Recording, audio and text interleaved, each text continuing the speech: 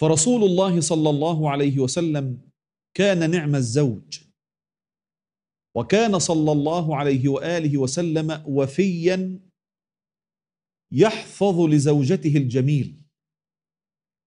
وهذا على خلاف كثير من الأزواج في هذا الزمان. ربما مع أول مشكلة ومع أول خلاف يتنكر لها تماما وينسى معروفها بالكلية. وتصير بعد ذلك من ألد أعداء الله إليه. ما هذا الجهل؟ ما هذا الكفران للعشير؟ هذا ليس من دأبنا وهذا ليس من أخلاقنا. فأسوتنا وقدوتنا بل والميزان الأكبر عندنا هو سيدنا رسول الله صلى الله عليه وآله وسلم. عشنا في اللقاءات الماضية مع حبه صلوات الله وتسليماته عليه لأم المؤمنين خديجة رضي الله عنها.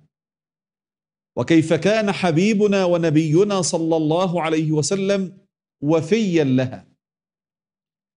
وبلغ من حبه لها رضي الله عنها وأرضاها أن رسول الله صلى الله عليه وسلم كان كثيرا ما يذكر خديجة وكثيرا ما يثني عليها حتى أن الغيرة قد دبت في قلب أم المؤمنين عائشة رضي الله عنها مرارا وتكرارا بسبب هذا الأمر. بل وأنا أقول أيها الأحبة من رحمة الله بأمنا عائشة رضي الله عنها وأرضاها أن أمنا خديجة رضي الله عنها ماتت قبل أن تتزوج عائشة من رسول الله صلى الله عليه وآله وسلم. لماذا؟ لعظيم منزلتها في قلب النبي ولعظيم تقدير النبي لها.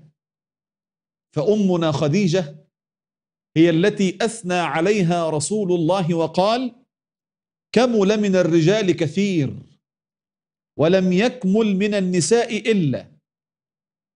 وبدأ نبينا صلى الله عليه وسلم بمريم عليها السلام. ثم قال حبيبنا ونبينا وخديجة بنت خويلد. فهي الكاملة.